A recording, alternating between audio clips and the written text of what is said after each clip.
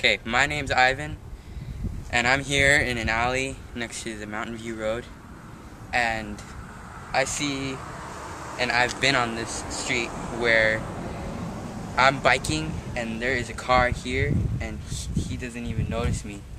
And this wall here is what's basically keeping everybody from being able to see.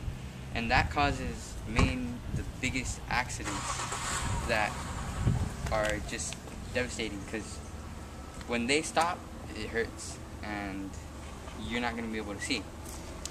So, by putting a mirror or a stop sign or anything that could keep people from getting injured, that could help.